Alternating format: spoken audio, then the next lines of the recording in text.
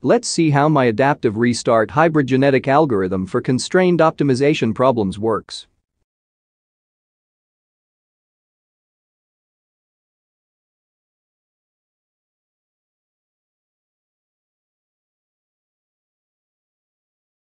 Hello everyone. In this video, I'm going to show you my innovative version of genetic algorithm called Adaptive Restart Hybrid Genetic Algorithm for Constrained Optimization Problems. This genetic algorithm is much more powerful than the traditional genetic algorithm because of the restart mechanism and the local search.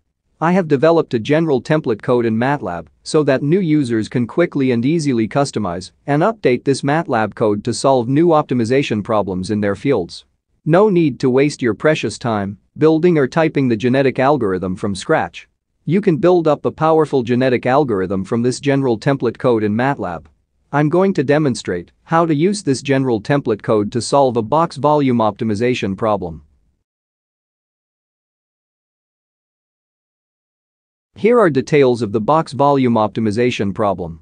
Pause the video for a while to study and understand the problem.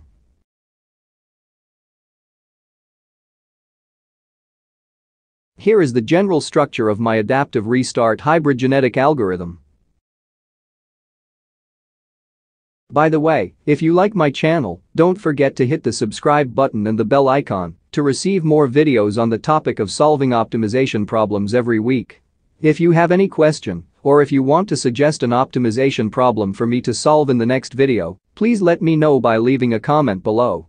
I really appreciate your support. Now, let's get started.